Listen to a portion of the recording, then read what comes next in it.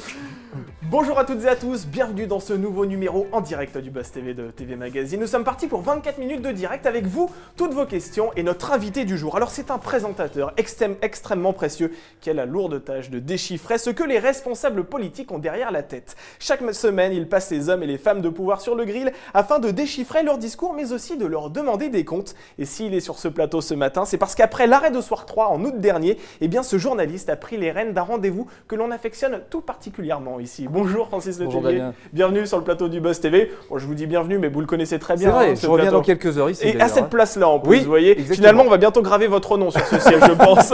Alors, je le rappelle, hein, depuis début octobre, vous présentez Audition publique tous les lundis à 19h sur LCP Public Sénat et Figaro Live. Alors, c'est une émission dans laquelle vous interrogez un responsable politique en compagnie de trois autres journalistes. Le dimanche, vous êtes toujours aux manettes de Dimanche en politique à 12h15 sur France 3. Alors, ma première question est la suivante. Même si les personnalités sont différentes chaque semaine, est-ce que cet exercice de l'interview politique n'est pas un peu rébarbatif quand même, semaine après semaine? J'adore, j'adore dérive politique. Parce que, en fait, les hommes ou les femmes politiques sont pleins de Ouais. ressources et ils sont tellement étonnants Mm. que, même eux d'ailleurs, je pense que quand ils ont des sorties en plateau en direct, s'étonnent eux-mêmes en se disant Ouais. Tiens, j'ai pu dire ça, tiens, pourquoi j'ai dit ça?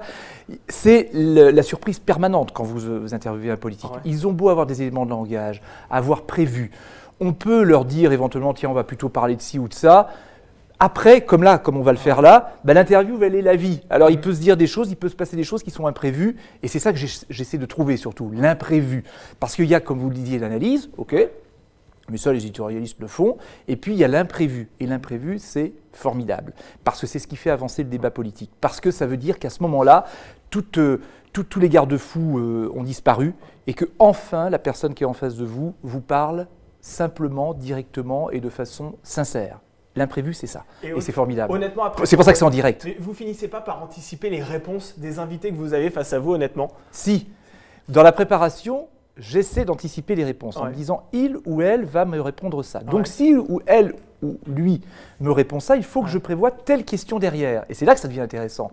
Parce que, effectivement, au premier jet, j'allais dire, la réponse, on la connaît grosso modo. Et puis, euh, après, en, en fonction des scénarios, ben, vous ouvrez plusieurs branches. Si telle réponse, si c'est oui, je vais lui poser telle question. Si c'est non, je vais lui poser telle question. Si c'est je sais pas, je lui poserai telle question. Et vous êtes obligé de préparer plein de scénarios. Et c'est-à-dire que quand vous avez l'invité en face de vous, au moment où il est en train de vous parler, vous êtes déjà, vous l'écoutez évidemment, mais vous êtes déjà en train d'échafauder des scénarios en disant bon, maintenant c'est le scénario 1, 2, 3, 4, et vous, essayez- vous essayez de trouver le, le bon. Parce que là aussi, une interview, elle est pleine de surprises pour celui qui mène l'interview aussi. Tout d'un coup, vous posez une question et puis après vous dites zut, c'est pas celle que j'aurais dû poser. quoi. C'est un défi permanent, quoi. Et une école de modestie. Parce que, euh, effectivement, on peut dire que parfois, il y a des journalistes politiques qui ne sont pas modestes et qui sont politiques à la place des politiques, ça j'en connais plein. Mais la modestie de l'interview, c'est de se dire, je vais essayer de poser la bonne question au bon moment, mais je peux me tromper aussi et je vais regretter pendant des jours de ne pas avoir posé la question.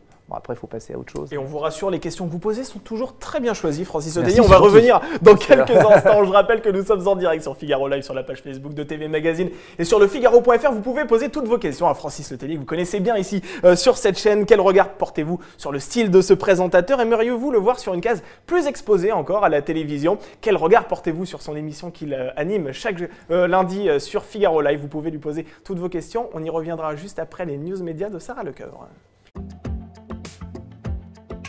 Bonjour Sarah. Bonjour Damien, bonjour Francis. Bonjour Sarah. Alors Sarah, euh, comme tous les jours, on va commencer avec les audiences. Quelle est la chaîne qui est arrivée en tête des audiences? Là, on parle de samedi. hein. Oui, on parle de samedi, attention, et bien c'est encore France 3 grâce à la fiction. Alors cette fois-ci, c'est pas un meurtra, c'est un commissaire Magellan qui a rassemblé, tenez-vous bien, 3 900 000 téléspectateurs et 19,2% du public. Donc la chaîne est en tête, devant la une et Danse avec les stars à 3 200 000 fidèles et 16,4% du public. Alors en une semaine, la chaîne privée reste stable en nombre de téléspectateurs, mais elle perd 1,4 de part de marché. France 2 ferme la marche du podium avec Taratata 100% live. Le divertissement de Nagui a séduit 2,4 millions d'amoureux de la musique et 13,6% de part d'audience. Et du côté de la TNT, c'est France 5 qui domine domine avec Échappée Belle et 879 000 personnes au rendez-vous, soit 4,3% du public. Alors ça tombe bien que l'on parle des audiences parce qu'on dit souvent, on a tradition de dire sur ce plateau que la pression des audiences sur le service public est moins importante que pour une chaîne privée où la publicité effectivement, où les revenus publicitaires sont très importants. Est-ce que vous, Francis Le Télé, vous êtes très attentif aux résultats que vous enregistrez Je suis accro même. Vous êtes accro. C'est-à-dire que... C'est vrai qu'on va pas trahir un secret, mais tout à l'heure, vous étiez sur votre portable pour regarder les audiences de dimanche au politique. En plus, c'était bonne, je vais, je vais y revenir. Mais pourquoi? Parce que vous savez, pour les gens qui ne savent pas, c'est que tous les matins à 9h01, tout le monde est sur son ordinateur, quelles que soient les chaînes de télévision d'ailleurs, pour voir quelle est l'audience de la veille, parce que ça tombe à 9h01. Et je peux vous assurer que j'y suis à 9h01, pas à 9h02, pas à 9h03, pas à 9h04, à 9h01 et je regarde. Et d'autant plus qu'hier, avec Dimanche en politique, on a fait un record d'audience depuis mars dernier, donc euh, on est plutôt content, c'est plutôt sympathique que les gens nous regardent. C'est pas tellement pour notre ego, mais autant faire de la télévision pour que les gens nous regardent. Alors il n'y a pas de pression économique sur le service public par rapport à l'audience, mais il y a une pression, ou en tout cas une attention parce que bah, on aime bien se situer par rapport à la concurrence. Sarah le disait, quand on est en tête le samedi soir avec la fiction française, je dis on parce que je suis clairement France 3 et je le revendique. Et, que France 3 est en tête euh, le samedi soir, c'est formidable. Quoi. Quand vous avez Capitaine Marlowe à 7 millions, vous dites mais c'est sur France 3 que ça se passe, c'est génial. Quoi.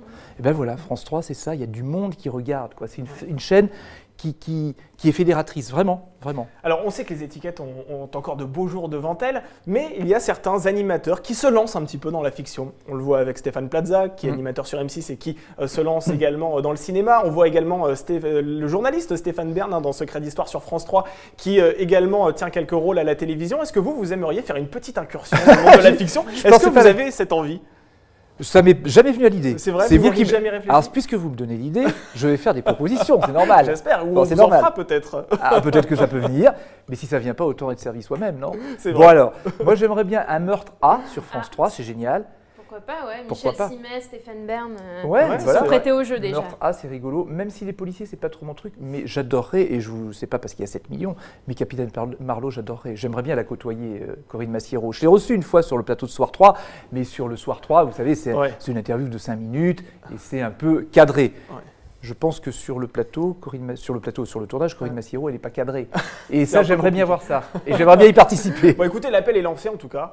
on, va poursuivre ces À José Dayan. À José Dayan, si nous entend. je suis certain que José Dayan nous regarde ah, matin Buzz TV. On, poursuit ces news médias avec Danse avec les stars. Un couple de danseurs est accusé de plagiat. Qu'est-ce qui se passe ça Oui, ce samedi soir, Ladji Doucouré et Inès Vandam ont dansé une valse euh, en revêtant les costumes de Joker, clin d'œil au film qui est actuellement en salle. Et en fait, le duo a reproduit la prestation d'un couple de la version américaine vue en 2016. Et ça, les internautes l'ont repéré sur les réseaux sociaux. Même musique, même décor, même costume, même chorégraphie. Bref, la mise en scène était exactement la même que celle des Américains. Alors, ce n'est pas la première fois que ça arrive en France. En 2016, euh, une danse de Tonya Kingsinger avait été euh, pointée du doigt également. Mais à l'époque, euh, le directeur des jeux et des divertissements de TF1 avait répondu que la production ne s'interdisait pas de reprendre des mises en scène vues dans la version américaine. C'est donc assumé de la part de TF1. Francis, vous accepteriez de participer à Danse avec les stars si TF1 vous le proposait? Alors, danse, avec les stars, pas de problème. danse, euh, faut voir. Danse, voilà. Avec on verra. Stars, vous prenez, mais. Je prendrai quelques petits cours avant. Euh, il y a des répétitions, j'imagine, avant. Il y a trois semaines de répétition Ah, bon, bon, bon, bon. Alors, bon, alors c'est envisageable. C'est envisageable. Quand on voit Djibril Cissé et Johan Ryu dans cette émission, on se dit que finalement. tout, est possible. Merci pour la comparaison. je, demande à voir, en tout cas. Allez, on va terminer ces news médias avec le coup de gueule d'Aya Nakamura, la chanteuse, euh, contre l'émission. C'est à vous. Pareil, qu'est-ce qu'il s'est passé? Elle n'est pas contente. Bah oui, alors peu de chance, je vous le dis tout de suite que la chanteuse revienne dans l'émission ah. d'Anne-Elisabeth Lemoine sur France 5, parce que dans les colonnes de Society cette semaine, l'artiste est revenue sur son passage dans le talk show, c'était le 23 mai dernier, et elle en garde un très mauvais souvenir. Elle dit, je cite, c'est l'interview la plus malaisante de ma vie, je voulais me barrer, mais d'une force, c'était horrible. Alors l'interprète de Jaja en veut en fait aux chroniqueurs de l'émission, euh, qui lui ont demandé euh, d'expliquer les paroles de ses chansons, au lieu, au lieu de faire... Oui, il faut le dire, c'est parfois incompréhensible. Hein. Je sais bah pas si vous avez déjà écouté. Oui, oui, j'aime bien en plus. En plus, j'aime bien. Et au lieu de faire leur travail de journaliste, dit-elle avant, ils l'ont fait en direct. L'animatrice en prend aussi pour son grade. C'était comme si Anne-Elisabeth Lemoine voulait me mettre dans un délire. C'est trop dur la citer en mode pleurnichage. Alors que non, je n'ai jamais dit ça, moi. Voilà, c'est dit, elle ne reviendra pas de Non, sitôt, je, pense. pense. pas sur- Lemoine dans cet réitère euh, l'invitation. Est-ce que vous avez déjà eu des invités comme Maya Nakamura qui se sont plaints euh, d'une interview que vous avez réalisée après coup? C'est déjà arrivé? Oh, qui se plaignent d'une interview, oui, et, et souvent, ils nous le- quand ils le disent, ils le disent aussitôt. Ouais. Je parle des politiques, puisque Ouais. c'est mon fonds de commerce, entre guillemets. Euh, les politiques, quand ils ne sont pas contents, euh, le générique est à peine euh, lancé, qu'ils vous le disent immédiatement. Mais ça, ça fait partie, j'allais dire, du, du stress qui redescend. Mm. C'est c'est du débriefing, si vous voulez, quoi, du débriefing en direct. Mais ça arrive, oui, bien sûr. Mais bon, il n'y a rien de grave. Et il y en a certains qui ont refusé de revenir sur votre plateau parce que justement une interview s'était mal passée Non, pour une raison toute simple, je crois. Ouais. c'est que euh, quand on s'explique, quand on dit que bah voilà, j'ai posé telle question parce que ça ou ça, et que c'est, euh, comment j'allais dire, euh, objectif, journalistique, il n'y a pas d'autres, il n'y a pas d'autres arguments à- à avancer quoi. Sur une émission de talk-show, c'est plus compliqué parce que l'émission de talk-show c'est du spectacle, c'est un point de vue, euh, c'est une bande, c'est plus compliqué à gérer et j'imagine que c'est plus difficile en effet de s'expliquer avec des invités qui ne sont pas contents. J'imagine, hein, j'en sais rien, je ne connais pas l'histoire, je me tourne vers vous du coup, mais j'imagine que c'est plus compliqué. Ouais. Là, dans, une, dans un exercice comme Dimanche en politique ou audition publique, euh, même s'il y a des confrères qui viennent, je suis le responsable de ce qui se passe sur le plateau, euh, et donc s'il y a des comptes à rendre, on me les demande. Voilà, et, et ça se passe bien en général. Eh bien écoutez, on va vous demander de rendre des comptes ici sur ce plateau, Francis Le parce qu'on va parler de votre émission que vous présentez tous les lundis euh, sur Figaro Live. C'est tout de suite dans l'interview du Buzz TV.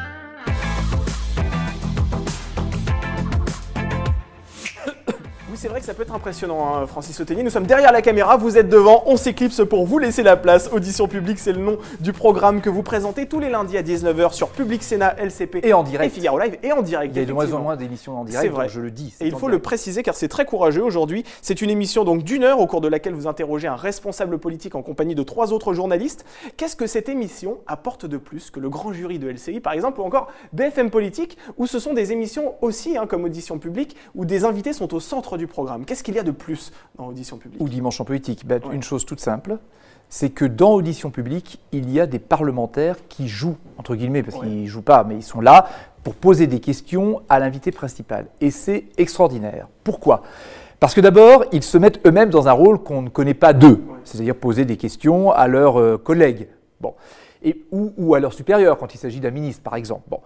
Et puis, euh, surtout, ils parlent de sujets que nous-mêmes, les journalistes, parfois ne voyons pas. Parce que eux, leur métier, c'est justement d'être au cœur des lois, au cœur des réformes, au cœur de ce qui va se passer. Et ce sont de formidables vigies pour nous. C'est intéressant. Et la façon dont les politiques invités répondent aux parlementaires qui sont en face d'eux, eh bien, elle est différente de la façon dont ils répondent aux journalistes. Autant un politique peut envoyer balader un journaliste, il ne peut pas envoyer balader un député ou un sénateur, c'est pas possible. Il est obligé de rendre des comptes, il est obligé de, de dire les choses parce qu'il a en face de lui ou d'elle quelqu'un qui est au même niveau de connaissance des dossiers ou des réformes à venir. Et je peux vous assurer que ça crée un moment de, pas de tension, mais un petit peu, mais un moment de, de, de- de sérieux, de, de fond dans l'émission qui est vraiment intéressant. Donc si je comprends bien, contrairement à de nombreuses émissions politiques, vous ne recherchez pas l'altercation verbale dans votre émission. Vous n'êtes pas sur Dans Audition le publique. clash. Dans Audition publique, tout à fait. ouais. S'il y en a, évidemment, on sait que ça fera parler. Bien sûr. Bon, mais c'est pas forcément ce qu'on cherche. Euh, c'est pas c'est pas la feuille de route de LCP Public Sénat euh, en partenariat avec le Figaro. C'est pas c'est pas la feuille de route. En revanche, c'est vrai que si on peut avoir des informations qui sortent, mais là des informations sur le fond, du style bah, euh, un ministre qui nous annonce que dans 15 jours il va faire ci ou ça, ou euh, un parlementaire qui dit, ou, ou un ministre qui dit à un parlementaire, mais vous n'avez pas voté telle, telle loi alors que ce que vous me proposez là, c'est exactement ce qu'il y avait dans la loi, vous ne l'avez pas voté. Bon, ça peut être intéressant parce que ce sont des moments de vérité. Alors plutôt que du buzz ou du clash, je vais dire, on va plutôt chercher des moments de vérité. Voilà. Alors concrètement, comment cette émission se découpe-t-elle? C'est-à-dire que vous, Francis Letellier, vous ouvrez l'émission, puis les trois autres journalistes se succèdent en plateau pour interviewer euh, la- le responsable politique c'est ça? Alors, j'ouvre l'émission sur une question très rapide, question d'actualité, sur une minute trente pour donner l'ambiance un petit peu. Et puis juste après, mes consoeurs de LCP, Assemblée nationale et Public Sénat, Ouais. Tam Tranui et Brigitte Boucher viennent pour Ouais. poser leurs questions, qui sont des questions d'actualité, parce que ce sont des journalistes qui font au quotidien cet exercice d'interview euh, sur les chaînes parlementaires. Ça, c'est une dizaine de minutes. Et pendant une vingtaine de minutes, c'est la grosse partie de l'émission. Là, ce sont les parlementaires qui viennent s'expliquer avec l'invité principal. Et ça, c'est intéressant. Ce soir, on aura Alexis Corbière comme invité, avec face à lui l'une des porte-paroles du groupe La République En Marche à l'Assemblée nationale. Autant vous dire que c'est quand même pas la même école. Et puis un sénateur centriste. Donc, ça va être plutôt intéressant. Et puis enfin, et ça c'est vraiment bien, c'est la nouveauté cette année, Yves Tréhard du Figaro vient faire pendant une dizaine de minutes euh, il ramasse, il condense l'émission et là, il va poser des questions plus politiques. Parce que Yves Tréhard est un éditorialiste reconnu et connu, et son rôle est de poser des questions, euh, j'allais dire, éditorialisées. Il est là pour ça. Et euh, Yves, euh, bon, on le connaît bien, c'est quelqu'un qui a du talent, donc il le fait très bien, et, ça termine l'émission voilà, sur, un, sur un, autre, un autre registre. Quoi. Et on va revenir dans quelques instants sur le choix de votre invité, Alexis Corbière, mais tout d'abord, je rappelle que nous sommes en direct sur Figaro Live. Sarah, les premières questions sont arrivées. Oui, et ah puis il y a beaucoup d'internautes avec nous. On va saluer par exemple Myriam qui vous veut dans Danse avec les stars. Voilà, on en parlait tout à l'heure. on va lui proposer autre chose, je vous dirai tout à l'heure. et alors, j'ai beaucoup d'internautes qui me disent par exemple Asgard, la suppression du soir 3 est un scandale. Euh, voilà, beaucoup y reviennent, scandaleux pour Marc également. Euh, et beaucoup se demandent si vous regardez la nouvelle version sur euh, France Info, ça s'appelle le 23h. J'ai regardé quelques fois, c'est normal. On fait partie du même groupe quand même. Évidemment. Il faut voir. Mais rien ne remplacera Soir 3. Ça vous manque le Soir 3 Oui. Mais il n'y a pas qu'à moi que ça manque. Si ça ne manquait qu'à moi, ce serait pas grave. Mais ça manque aux téléspectateurs. Tous les jours tous les jours, il y a des gens dans la rue qui me disent Mais pourquoi le soir 3 a disparu Tous les jours? Ça vaut tous les sondages. Mm. Et euh, encore, l'autre jour, je rentrais d'un tournage, j'en parlais tout à l'heure, si vous voulez, de, Finlande, puisqu'il y a une nouvelle émission qui s'appelle Nous les Européens qui arrive bientôt sur France 3. Euh, à l'aéroport, il y a des gens qui sont venus me dire Mais vous étiez à soir 3, pourquoi il n'y a plus soir 3 Et ça vous fait mal ces questions? Parce que ça vous rappelle clairement que. Mais très clairement, là, quand je vous le dis, voyez, je suis, je ne sais pas si ça se voit. Ça, ça, se sent. Je suis touché parce que, oui, parce que 40 euh, ans de soir 3, qui s'arrête comme ça tout d'un coup, bah oui, ça passe pas inaperçu et ça passe certainement pas inaperçu auprès des téléspectateurs. Et les téléspectateurs qui regardent Capitaine Marlowe le soir, mhm.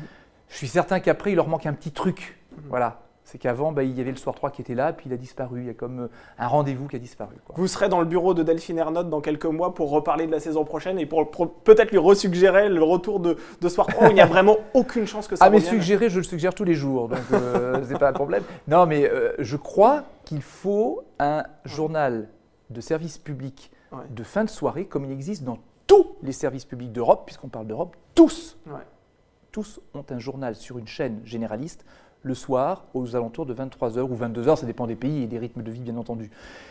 Que ce soit soir 3, soir 2, soir 5, vous l'appelez comme vous voulez, mais il le faut quelque part. On revient à Audition Publique, l'émission euh, diffusée sur LCP Public Sénat et Figaro Live euh, tous les lundis à 19h. Ce soir, vous l'avez rappelé, vous allez recevoir euh, le député de la France Insoumise, hein, Alexis Corbière. Porte-parole de Jean-Luc Mélenchon. de Jean-Luc Mélenchon. Pourquoi avez-vous décidé de recevoir ce personnage que l'on voit, c'est vrai, un peu partout aussi hein? Alors d'abord, parce que euh, nous aimons avoir la diversité des opinions. Donc depuis le début de la saison, on n'avait pas encore eu d'invité la France mhm. Insoumise. Bon.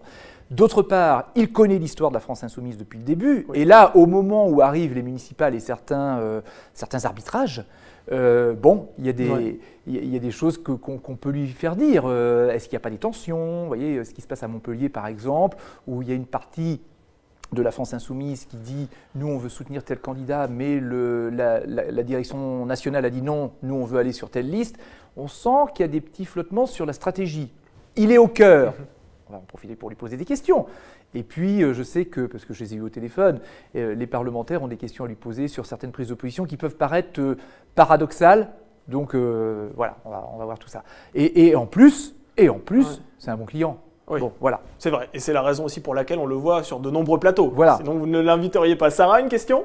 Oui, je vais prendre la question de Sophie euh, qui demande qu'est-ce que vous a fait aimer la politique? Comment vous est venue cette passion? Alors, Depuis toujours. Hein. Depuis toujours. Alors d'abord, j'ai pas fait Sciences Po parce que je savais même pas que ça existait quand, euh, quand je faisais mes études, donc j'ai pas fait Sciences Po. Mais j'ai aimé la politique, la politique parce que dans une petite commune où j'étais, bah, mon grand-père était un petit peu militant, donc déjà je regardais les journaux qu'il lisait, tout ça. bref. Et puis ce que j'adorais faire, c'était aller au dépouillement des votes. À chaque élection, j'allais au dépouillement, j'adorais ça. Vous l'avez fait? Vous avez dépouillé? Jamais par contre, ah. j'ai jamais dépouillé, mais j'ai toujours assisté au dépouillement. Et j'adorais ça, il y avait une tension, puis il y avait parfois dans la salle des gens qui donnaient leur opinion et tout. C'est interdit normalement, hein, vous n'avez pas le droit d'aller. Et j'adorais ça. Et voilà, j'ai toujours aimé ça. Quand j'étais au lycée, euh, non, dès le collège même, j'ai été euh, délégué de classe euh, de la, de, la sixième à la terminale. Euh, J'adorais ça. Finalement, vous ça. êtes un petit peu engagé en politique, finalement, lorsque vous Sans étiez délégué savoir. CAS, sans le savoir. Enfin, sans le savoir, en le sachant quand même. Est-ce que, peu. est-ce que, comme certains journalistes, comme Audrey Pulvar par exemple, vous pourriez passer de l'autre côté, c'est-à-dire passer de journaliste à homme politique? Aujourd'hui, c'est trop tôt. C'est trop tôt? Parce que j'ai encore plein de choses, je crois, Ouais. à faire à la télévision. Enfin, je le pense et voilà. Mais pourquoi pas Pourquoi pas? C'est quelque chose Pourquoi qui pas vous trotte en tête? Vous Oui. avez des choses à Ah dire ben je vais le dire clairement. Ouais. Oui, c'est-à-dire que c'est quelque chose qui me trotte en tête, euh, mais pas tout de suite encore une fois. Mais parce qu'il y a aussi dans cette idée l'idée que euh, voilà, je, fais un beau métier. J'ai fait des études, euh, j'ai eu la chance, contrairement à plein de gens de ma génération, de faire ce parcours, et que quelque part, euh, être élu d'un secteur, d'un endroit, d'un département, d'une région, j'en sais rien, euh, ça peut être une façon aussi de rendre la pièce. Et j'ai envie de ça.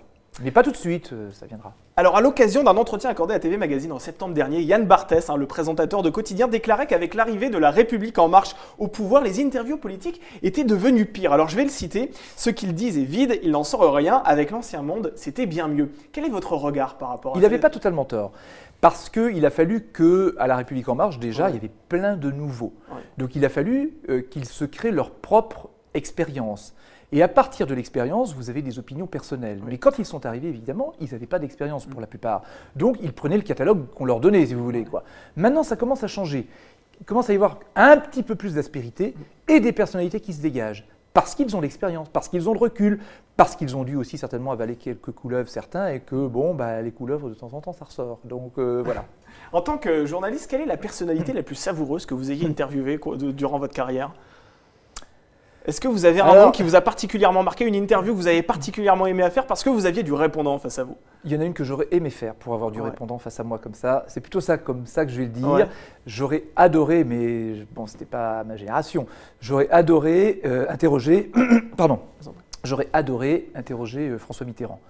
Parce que là, je pense que j'aurais été vraiment dans mes petits souliers, mais vraiment, vraiment, Ouais. vraiment, parce que le répondant, pour le coup, vous en avez, et euh, j'aurais vraiment aimé. Et à l'inverse, la personnalité la plus fade que vous ayez face à vous? Il y en a une Vous avez un nom Alors là, je- vous avez non, non, je réfléchis, je réfléchis. Vous allez vous fâcher avec quelqu'un, Oui, cherchez oui, pas. C'est pas grave, pas grave si c'est vrai, autant le dire. Bien sûr. Mais je cherche quand même. Alors, il y a des gens peut-être plus Ouais. fades, mais là, je vais me retourner la question. Ouais. Il y a des, et je vais nous retourner la question à nous, journalistes qui interviewons les politiques. C'est-à-dire qu'il peut y avoir des gens fades à l'origine, mais si vous savez poser des questions, y compris aller dans leur euh, euh, parcours personnel, vous pouvez les sortir de cette fadeur. Mm. Donc, s'ils sont fades, c'est parfois, pas toujours, Ouais. mais assez souvent quand même, à cause de nous. Parce qu'on pose les mêmes questions, Mm. parce qu'on dit la même chose. Donc voilà, je vais plutôt, vous savez, apprendre à penser contre soi-même. Ouais. Ben là, je vais faire cet exercice-là euh, à cette question. Vous en êtes très très bien sorti, Francis Leté. Merci. une question, euh, euh, Sarah, sur euh, la page Facebook de TV Magazine. Et sur le Figaro.fr, Charlotte qui se demande comment expliquez-vous que les émissions politiques à la télé soient moins regardées qu'avant? Ah oui. Fédère moins. Oui, alors, d'abord parce qu'il y en a de plus en plus. Regardez un petit peu. Moi, je vais vous donner un exemple. Le dimanche. Le dimanche, face à dimanche en politique à 12h10. On prend de 10h le matin, Europe 1, jusque euh, BFM 20h. Et même, je vais même dire euh, euh, France 2 avec Laurent Delahousse qui avait François Barouin hier, euh, 20h30, 20h45. Vous avez 15 rendez-vous politiques. Vous ajoutez à ça tous les rendez-vous politiques, les matinales et tout, radio et télé comprises. Vous avez une telle offre que avant, si vous voulez, quand vous aviez 7 sur 7 d'Anne Sinclair, il y avait le 7 sur 7 d'Anne Sinclair et puis voilà. Ouais. Là aujourd'hui, vous en avez partout. Et d'ailleurs, c'est même un risque pour les politiques parce qu'ils sont un peu chair à canon euh, des chaînes d'infos continues. C'est-à-dire que hop, on branche un politique, on est sûr qu'il parle. Ouais, sauf qu'il se banalise. Il faut faire attention. Alors, malgré l'arrêt de Soir 3, on en a parlé tout à l'heure, vous gardez quand même un pied dans le service public puisque vous animez chaque Bah, plus dimanche. qu'un pied. Ah, bah oui, même les Deux. deux, deux pieds. Ah parce que vous avez une deuxième émission, en plus, on en parlera à bientôt, l'heure. ouais. Effectivement, dimanche en politique, c'est chaque dimanche à 12h15 sur France 3. Alors, en un mot, cette émission, en fait, c'est quoi? Est-ce que c'est l'équivalent de l'émission dont on vient de parler, euh, audition euh, publique, ou alors ça n'a rien à voir et c'est tout autre chose? Quoi donc, dimanche en politique? Oui, dimanche en politique. Ça- D'abord, elle a une autre histoire. Ouais. Parce que Dimanche en politique, elle est née en 2011. Ouais. Alors, rappelons, 2011, campagne présidentielle Sarkozy-Hollande. Vous voyez, quand on Ouais. dit ça, déjà, on a l'impression que c'est très vieux. Alors que pas du tout, ça fait 8 ans et demi. Et on a l'impression que c'est vieux, vous, Mm. vous remarquez, hein, c'est Mm. drôle quand vrai. même. Même moi, quand je le dis, je me dis, oh là, ça fait longtemps. et pas du tout. Mais ça fait quand même, entre parenthèses, plus de euh, 200 dimanches que je passe à l'antenne en direct, quand même, hein, entre, 200. entre parenthèses. Plus. Ouais. J'ai pas le chiffre exact, j'aurais dû, mais à peu près. Donc voilà. Et la différence, c'est que dimanche en politique, c'est le rendez-vous politique hebdomadaire de France 3. Il y en a un, mm. c'est celui-là. Sur les chaînes parlementaires, il y a plein de rendez-vous politiques. Audition publique, c'est un rendez-vous mm.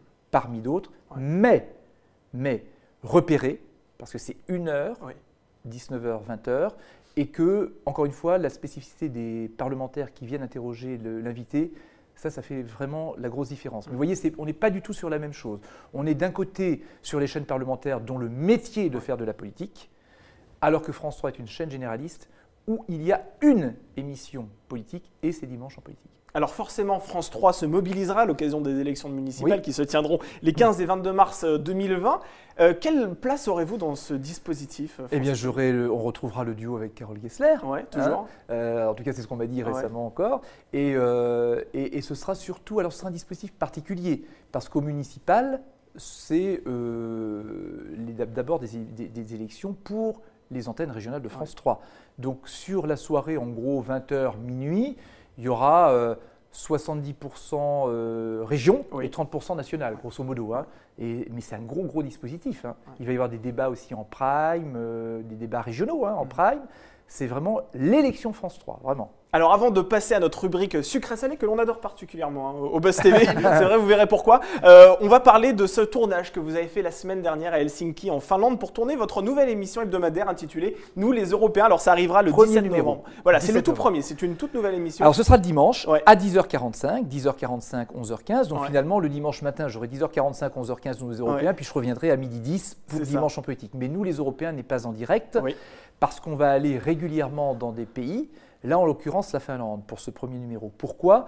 Parce que c'est le pays où les habitants se disent les plus heureux de vivre. Alors, on était allé voir pourquoi ils étaient les plus heureux de vivre. Alors, la réponse est étonnante. Euh, bah, parce qu'il ne se passe rien.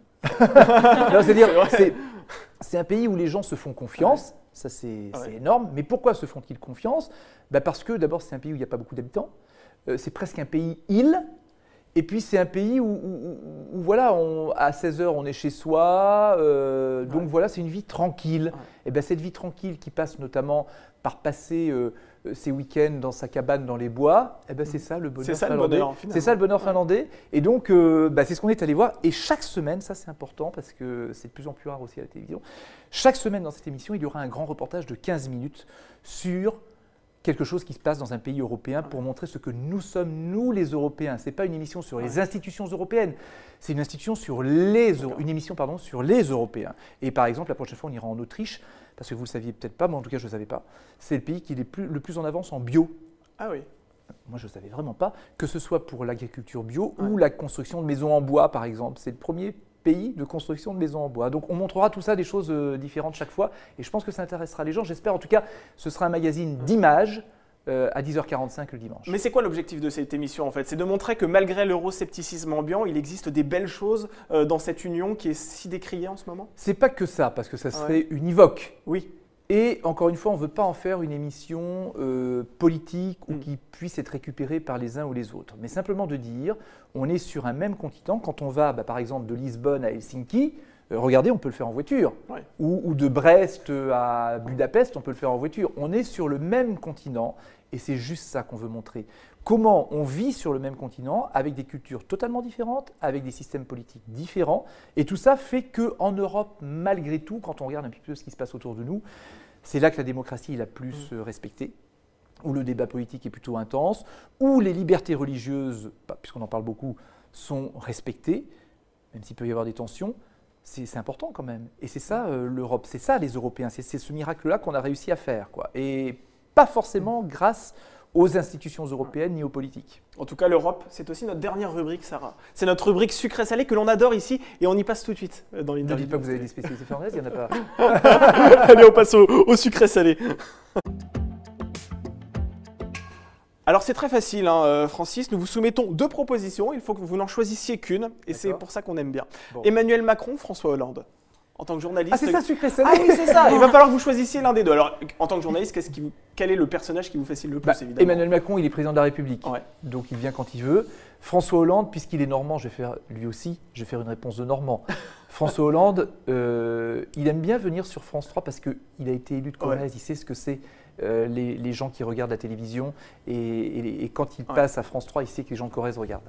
Allez, là, vraiment, la question peut-être la plus compliquée pour vous. Carole Gessler ou Catherine Matoche Deux présentatrices. Alors là, je ne sais pas. 19, Non, là, vous êtes France 3. dur, je Oui, je pas. savais que ça allait être compliqué Catherine, pour vous. Catherine Matoche, j'ai vraiment beaucoup de sympathie et de tendresse pour elle parce que il y a plein de choses qu'on échange et puis parce qu'on a surtout travaillé et encore maintenant le dimanche euh, longtemps le week-end ensemble. Donc c'est ma collègue, ma copine du week-end. J'adore Catherine vraiment et on pourrait faire plein de choses ensemble et tout. Et Carole, c'est une très bonne Ouais. consoeur. Je travaille vraiment et nous travaillons vraiment en, en intelligence, mais c'est même pas intelligence, il n'y a pas d'histoire de ça. Euh, mais ça se, voilà.